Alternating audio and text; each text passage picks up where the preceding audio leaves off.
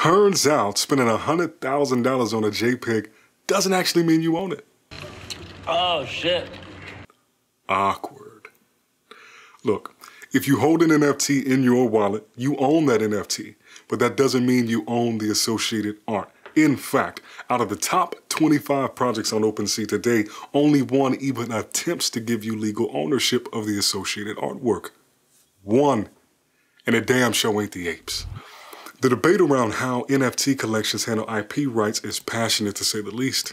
Perhaps the most divisive hot take on the IP versus CC0 debate comes courtesy of NFT 42 founder J1mmy.eth, who put it as capitalism versus communism. Given the difference in how each of these approaches affects monetization potential, I can see where such a generalization holds some merit, but solely focusing on the monetary aspects is short sighted when considering the varied nuances. But why is this even relevant? Well, for better or worse, one of the core narratives contributing to the meteoric rise of NFTs is the assumption that owning an NFT gives you ownership of whatever is linked or associated with it. Though certainly a use case, it's far from the only one, since NFTs can grant ownership rights and sometimes do, even if in limited fashion, the purpose or value of holding an NFT that doesn't grant IP rights gets confusing. The recent Okie doke from the Moonbirds project, Tiffany's creating Punk's jewelry, and the BAYC Ryder Ripps lawsuit have each brought different IP rights issues to light, forcing the wider community to reassess the very essence and value of their NFTs. Ultimately, one central question remains on everyone's mind. Who owns the art? Now, as sticky as that question might be, I think I've got the answer for you. First, though, special thanks to Alex Modell, Max Kernan, and Jeremy Goldman for breaking a ton of this stuff down in an interview with Carly Reilly on her show, Overpriced JPEGs, and to the team over at Galaxy.com for the phenomenal write up they've done on the topic. Now, let's go ahead and dive in. We'll begin with IP rights. Intellectual property is merely a catch all term to describe property rights related to non physical assets. Accordingly, there are four main types of intellectual property copyrights, trademarks, patents, and trade secrets. Given that copyright is the primary legally recognized form of IP for digital content, we'll focus our attention here. So, note, whenever a project says you own the IP or have IP rights, copyright is what they're usually referring to. And a copyright in practice covers the expression that is fixed in a tangible medium, be it a painting, art, photos, motion pictures, video games, etc. Copyright ownership grants the owner the ability to exercise the exclusive rights, to authorize others to exercise any of those exclusive rights, and to prevent others from exercising any of those exclusive rights. More specifically, it allows the copyright holder the right to reproduce, distribute, publicly display, perform the work, and to create derivative works. Hence the name copyright. Thankfully, you don't need to file anything to obtain a copyright for your works. It exists once you create the work. However, if you need to enforce the protection of your copyright from infringement, aka sue somebody, you must file for copyright registration. Otherwise, you can't do much about it. Once granted, though, copyrights remain in effect for up to 70 years after the original author's death, at which point the work is entered into the public domain as it transitions to a CC0 work, something we'll touch on in just a second. So, legal hurdles and constraints aside, What's the beef between IP advocates and CC0 champions? The core thesis for those supporting the standard of NFT IP rights is the assumption that such rights directly incentivize holders to contribute productive, thoughtful, or creative applications to the underlying property, be it an ape, doodle, bad influence, or other work since they hold exclusive rights to capture any value created in that process. For example, Bored Ape Yacht Club owners licensing their NFTs to star in virtual bands, Boss Beauties signing to WME, or otherwise leveraging the NFT for commercial means. Whether you plan to monetize your NFT or not, this article by Galaxy.com put it best, noting, quote, Without copyright, a purchaser of digital content does not own that content, but instead licenses that content from the copyright holder on terms dictated by the copyright holder. In this sense, the copyright holder, the licensor, is the digital content landlord, while the purchaser or licensee of that content is the digital content tenant. Well, that all seems pretty cut and dry, right? I mean, if a collection wants, can't they just grant their holders IP rights? Not exactly. Ensuring legal copyrights are transferred from the original author or artist to the project's creators and then on to the holders themselves can all be quite a process. According to 17 USC section 204A of the Copyright Act, a valid transfer of copyright must be in writing and be signed by or on behalf of the transferring party.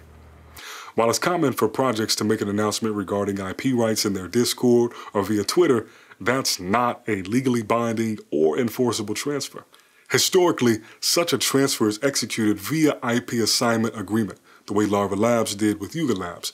But there are some teams working on making this a more seamless yet legally sound on-chain process like the folks at Remaster.io. After you finish this video, be sure to check out my interview with their co-founders, Max Kernan and Alex Modell, if you want to learn more about what they're doing and how it works. I'll leave a link in the description. If we assume a legally binding full transfer of copyright ownership from the artist responsible for collections art over to the creators or company behind the project, the project can now bestow full copyrights to the holders. But they probably won't. Instead, what most projects do is issue what's known as a copyright license, a limited license specifically. This limited license ensures that the collection retains full copyright ownership, thus affording them the continued use of all associated art or other IP however they like. Though a finesse at first glance, there are some benefits to this limited approach.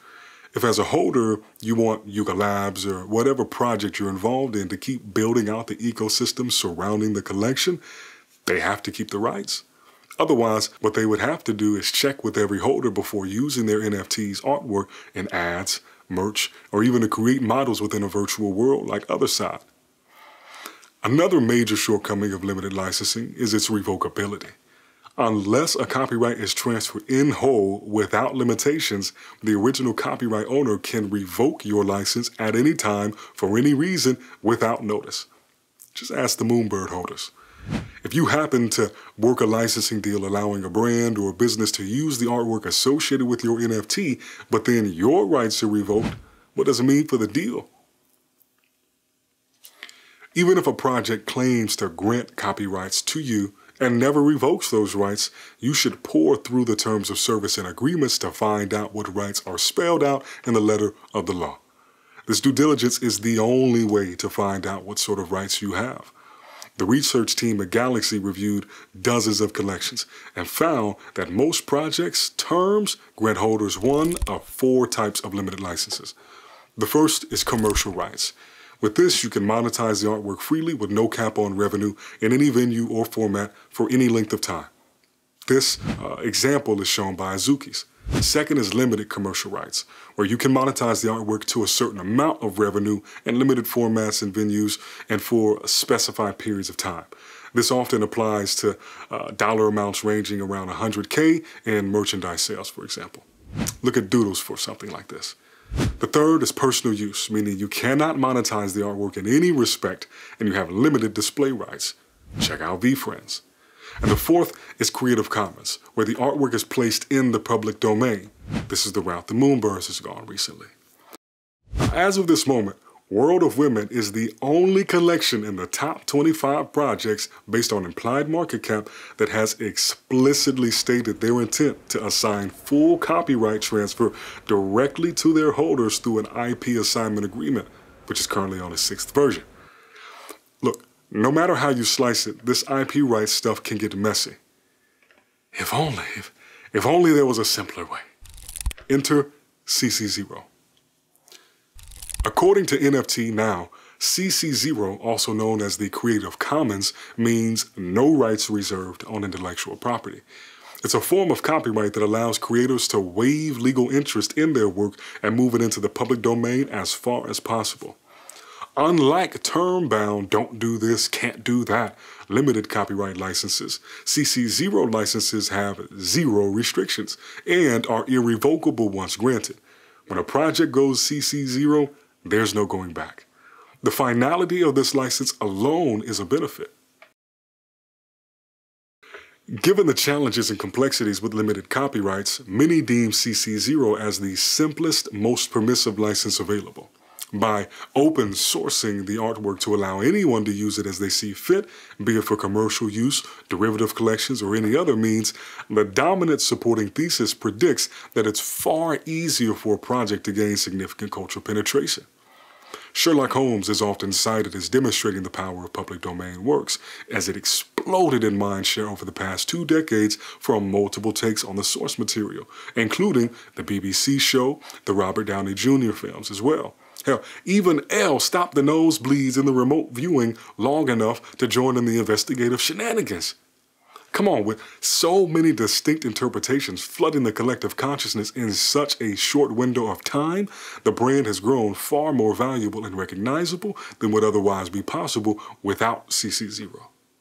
Just like IP licensing rights, though, CC0 licenses have their own drawbacks, the first being the lack of infringement protection.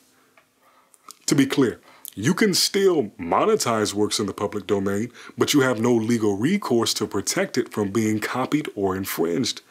Just as with the Sherlock example, plenty of people successfully implement or leverage CC0 works within their commercial venture.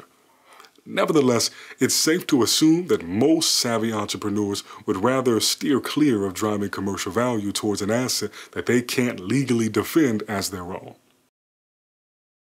As stated at the onset, one of the core value propositions and motivators for purchasing or collecting an NFT is to own the associated artwork or IP.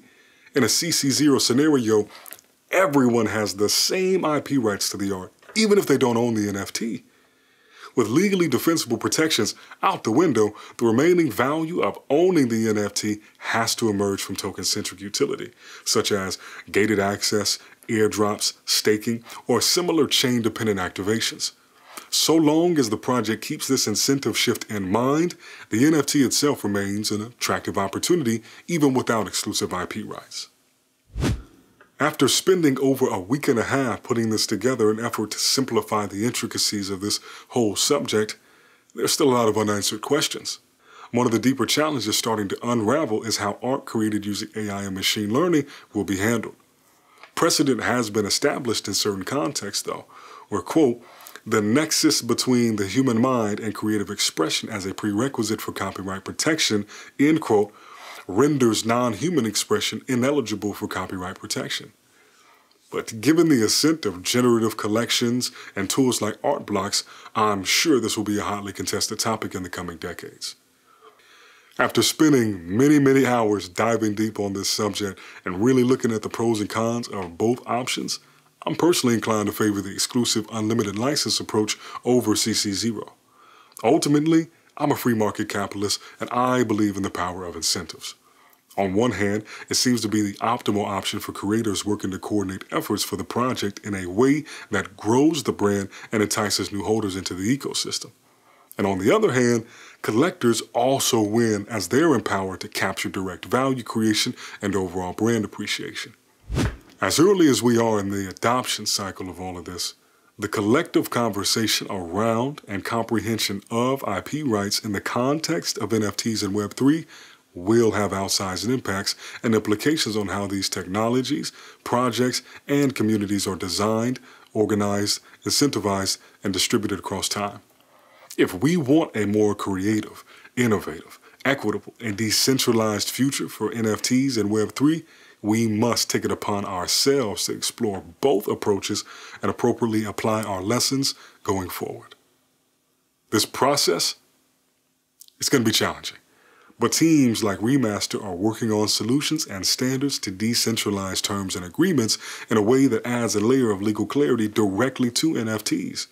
To learn more about what they're doing, how it works, and how they see this playing out, check out my interview with their CEO, Max Kernan, and co-founder and COO, Alex Modell.